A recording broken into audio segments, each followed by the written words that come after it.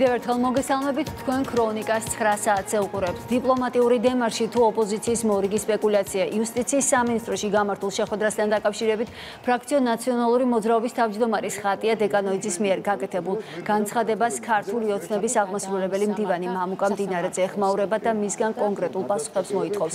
მდინარაძე ინტერესდება საიდან ფლობს ოპოზიციონერი ინფორმაციას თუ ელჩებისა და იუსტიციის მინისტრის შეხვედრაზე დემარშის რაიმე ფორმა იყო. მამუკა მდინარაძის განმარტებით ხატია დეკანოიძის განცხადება შესაძლოა გახდეს დიპლომატიური სკანდალის საფუძველი. ცნობისთვის ფრაქცია ნაციონალური მოძრაობის თავმჯდომარემ ერთ-ერთ ტელეარხთან საუბრისას თქვა, რომ იუსტიციის სამინისტრო ნდობით აღჭურვილი რომ ყოფილიყო, ევროკავშირის 15 ელჩი დემარშით არ მივიდოდა და იუსტიციის მინისტრს პირადად არ კითხავდნენ სააგაშვილის თემაზე. ხატია დეკანოიზემ გაახმოვანა, რომ ეს იყო დემარში. ჩვენ მოვისმინეთ მხოლოდ გერმანიის ელჩის კომენტარი, სადაც არათუ დემარშზე არც ერთ დეტალზე არ ყოფილა საუბარი. თუ ის ვერსია სწორია, რომ რაღაც დემარშის რაღაც ფორმა იყო, მარტივი, მსუბუქი, რთული, ძიმე, არ ვიცი. ამ შემთხვევაში საიდან აქვს ეს ინფორმაცია? ანუ თუ საქმე ქონდა დემარშთან მართლაც ნებისმიერი ფორმის დემარშთან, საიდან აქვს ხატია დეკანოიზეს ეს ინფორმაცია? და თუ არ აქვს თავადაკოს პასუხი, თუ ეს ასე არ იყო უბრალოდ დემარშის არანაირი ფორმას ადგილი არ ქონია, რატომ ატყუებს ქართულ საზოგადოებას? რომ ეს იყო დემარში. და რატომ ქმნიან ყალბი ილუზიებს და მაშინ კიდევ ერთხელ კიდევ ერთი ხახალი არ იქნება მათთვის, მაგრამ კიდევ ერთ ციცურაში ვამხელს. ორი ვარიანტიდან ერთია. უკან დაიხია, მე მგონი მიხვდა რა შეცდომა დაუშვა, ის იყო მიუტევებელი შეცდომა, იმიტომ რომ ეს შეიძლება გახდეს დიპლომატიური სკანდალის საფუძველი.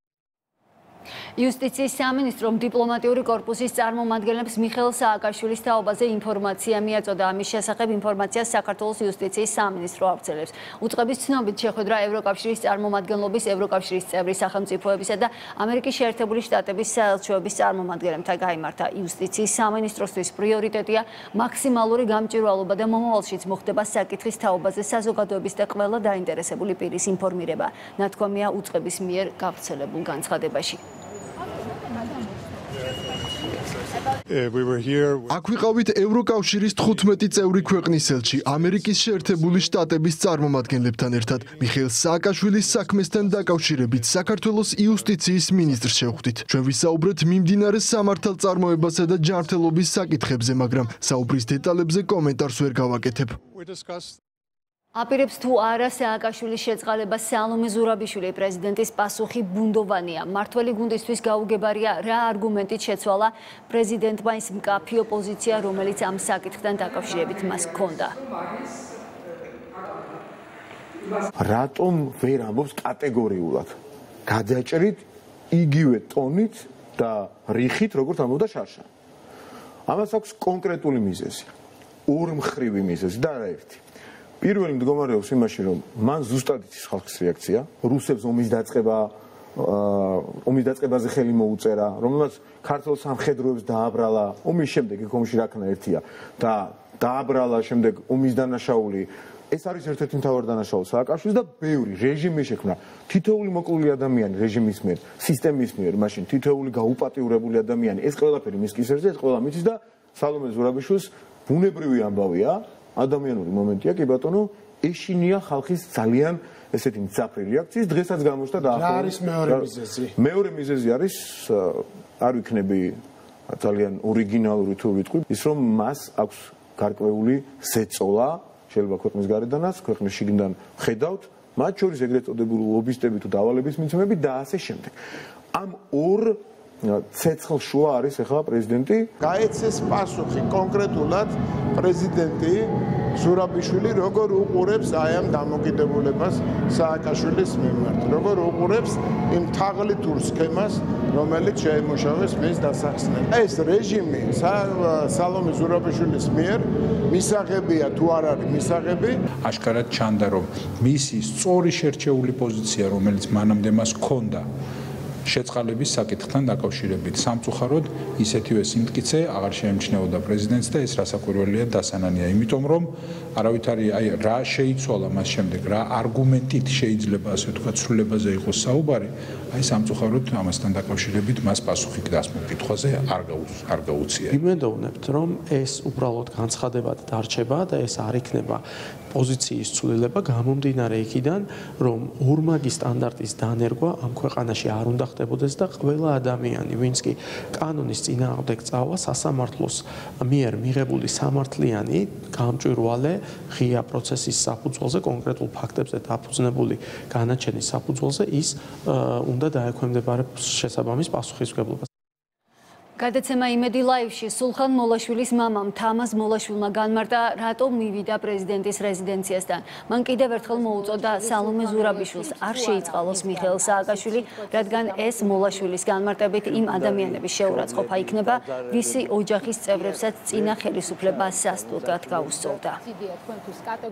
საქართველოს პრეზიდენტმა უბრალესობამ ხათრის გულისთვის რომ ავირჩიეთ პრეზიდენტად ხალხის პრეზიდენტი რო ქვია ნუ თუ ამ ხალხის ხალხს ეტყვის თავისი მიპატიჟებულ ხალხს ზე ხალხზე იტყვის რომ შემომივარდნენო აქ უკვე სულ სხვანაირი სიტუაცია დაიწყო შედალოცვილო პრეზიდენტი ხარ რას მასხარად იგდებ ამდენ ხალხსა? ან თქვი რომ არა ან თქვი კი ვიღაცა რო იჯდეს შემწი ხალი იქნება თუ კაცი იქნება რომელიც იძახის რომ უნდა შევიწყალოთო შენი შვილი რომ მოეკლა ასეთნაირად შენ ხელს მოაწერდი მის განცხადებაზე რომ შეიწყალეთო. მე გამოგაგზავნოთო რო იძახის პრეზიდენტი.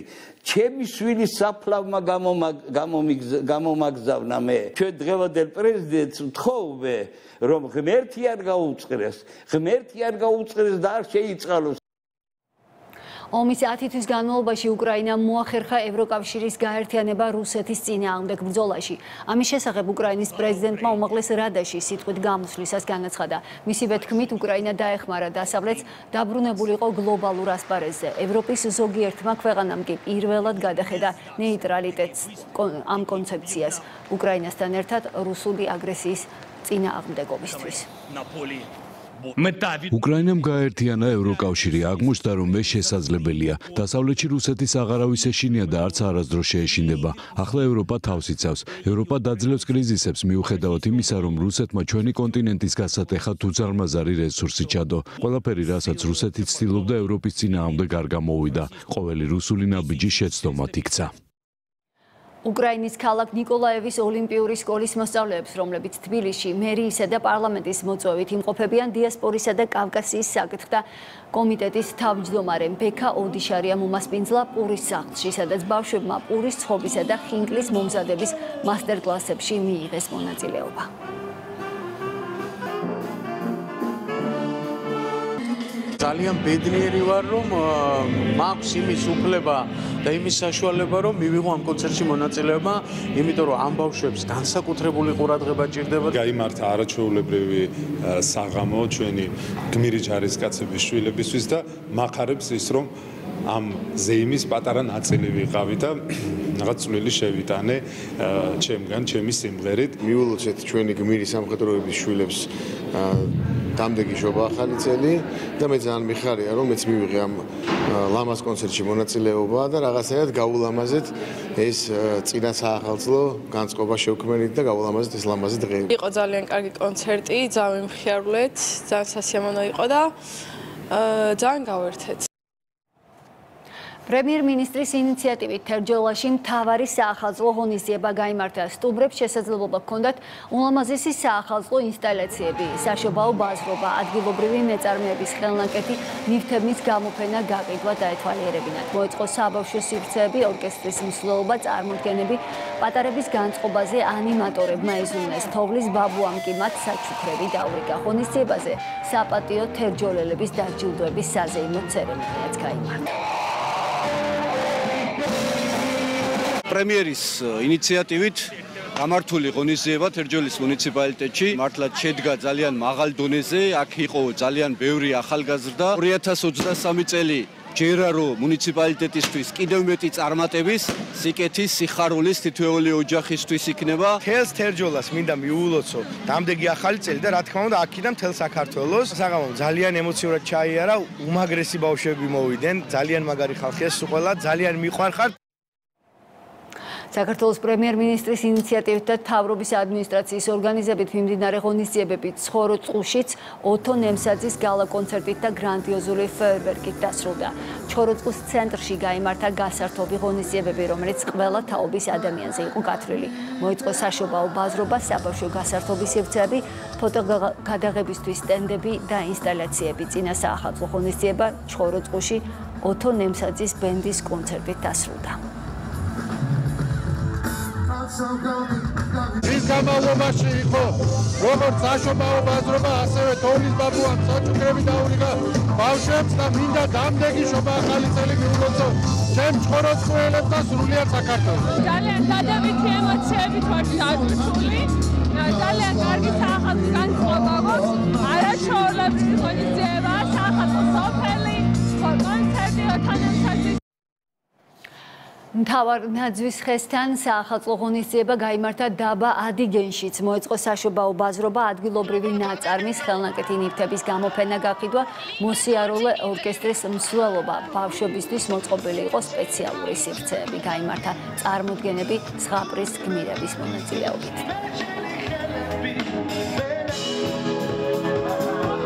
ქალაქში ვარ პირველად და საოცარი გარემოდან ხვდა საოცარი ბავშვები, საოცარი აუდიტორია მოკლედ და ძალიან დადებითი ენერგიებით მივდივარ აქედან. ჩვენ სხვადასხვა მუნიციპალიტეტებში დავდივართ და ვატარებთ კონცერტებს და ნუ ერთ-ერთი გამორჩეული საზოგადოება დაგვდა ადიგენში. ნამდვილად აპლოდისმენტები ჩემგან ადიგენელ სმენელს. რაიონებიდანაც იყვნენ ჩამოსულები და ძალიან კარგი ემოციები იყო მე ასეთ რაღაცები მოწონს და ძალიან ბევრი სიახლეები იყო და თავარია.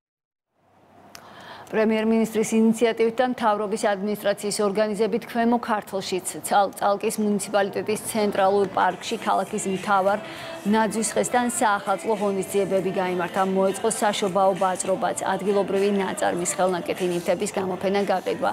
მოსიარულე ორკესტრის მსვლელობა და წარმოდგენები ცხაპრის გმირებით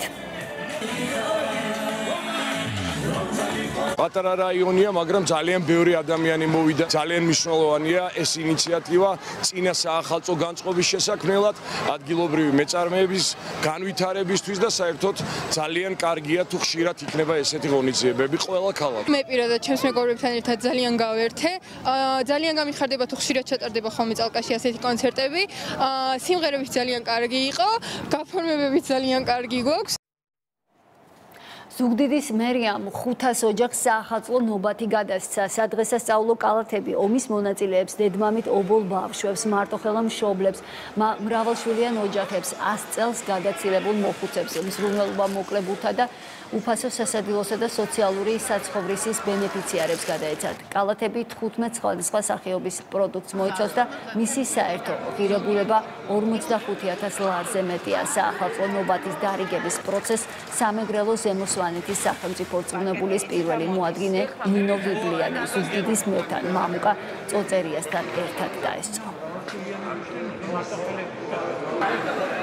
წელს 500 ოჯახზე მეტი მიიღებს ამ საახალწლობას. გილოცავთ ყველას დამდეგ შობა ახალ წელს მინდა გისურვოთ ჩამწელობა და ბედნიერება. ზუგდიდის მუნიციპალიტეტის მერია ყოველწლიურად სადღესასწაულო დღეების ხარჯების პროგრამის ფარგლებში ახორციელებს ჩვენი მოსახლეობის გარკვეული კატეგორიის საახალწლო ნობათით უზრუნველყოფას. აღსანიშნავია ზუგდიდის მაჟორიტარი დეპუტატის ბატონი ირაკლი ჩიქოვანის ძალიან დიდი მხარდაჭერა, რომელმაც მრავალშვილიან ოჯახებს გაუმზადა ტკბილეულის ნაკრები კალათა ბათუმში მაგნოლია 2022-ის დაჯილდოების ცერემონია გამართა აჭარის ტურიზმის დეპარტამენტმა რეგიონში საუკეთესო ტურისტული სერვისის მიმწოდებლები დააჯილდოვა. გამარჯვებულები 13 ნომინაციაში გამოვლინდნენ ტურიზმის განვითარებასა და პოპულარიზაციაში შეტანილი განსაკუთრებული წვლილისთვის დეპარტამენტმა მადლობის სიგელები გადასცა კერძო და სამთავრობო სექტორის ასევე მედიის წარმომადგენლებს. განსაკუთრებით מחარებს ის ფაქტი, რომ ორნიშნა ეკონომიკური ზრდასთან ერთად პოსტ პანდემიურ პერიოდში სრულად აღდგა ტურისტული ნაკადები, აღდგა ფრენების რაოდენობა, ჩვენი საერთო მიზანი, რომელიც გახლავთ, რომ ბათუმი და აჭარა გადავაქციოთ 4 სეზონზე მიმზიდველ წარმატებულ ტურისტულ მიმართულებად, აუცილებლად იქნება ხორცესხმული. ჩვენ შევაჯამეთ წარმატებული ტურისტული სეზონი რეგიონში, აღვნიშნეთ რომ არის მზარდი როგორც შემოსავლები, ასევე ფრენების ჭრილში გვაქვს მატებაში და ტურიზმის თვალსაზრისით გვაქვს განსაკუთრებული მატება და ამავდროულად აღსანიშნავია ის რომ აჭარის რეგიონში გაიზარდა სტატისტიკაზე დაყრდნობით უკვე სეზონი და ზამთრის და საშემოდგომო პერიოდში 2019 წლის მაჩვენებელთან შედარებითაც მატება გვაქვს ტელეკომპანია იმედის გადაცემა ავტოგრაფი საუკეთესო აღიარეს ქართული ბრენდის დღის 20 წლის იუბილესთან დაკავშირებით წარმატებული ბიზნეს საქმიანობის დაჯილდოება გამართა ნომინაციაში წლის წარმატებული ტელეპროექტი სხვა გადაცემებთან ერთად ავტოგრაფიც მოხვდა. ძალიან გახარებული ვარ, რომ ავტოგრაფმა გამარჯვა წარმატებული ტელეპროექტის პრიზი მიიღო და ვულოცავ მთელი ავტოგრაფის გუნდს, ტელეკომპანია იმედს, ჩვენ სტუმრებს, ერთგულ მაყურებელს და ვპირდებით, რომ ამ ჯილდოს კიდევ უფრო გავამართლებთ და მომავალი სეზონიდან უფრო საინტერესო გადაცემებს შევთავაზებთ ჩვენს ტელემაყურებელს. ზოგადად ძალიან დიდი პატივია, როდესაც აფასებენ შრომას და მადლობა მინდა უთხრა შესანიშნავ რაც წამოწყებას უკვე 20 წელია. ქართული ბრენდის დღე არსებობს და არაჩვეულებრივი ადამიანები გამოვარჩია დააჯილდოვა. ამ დროსთვის ეს იყო ბოლო ინფორმაცია. ქრონიკა პირდაპირ ეთერში ახალი ამბებით ზუსტად 10 საათზე დაბრუნდება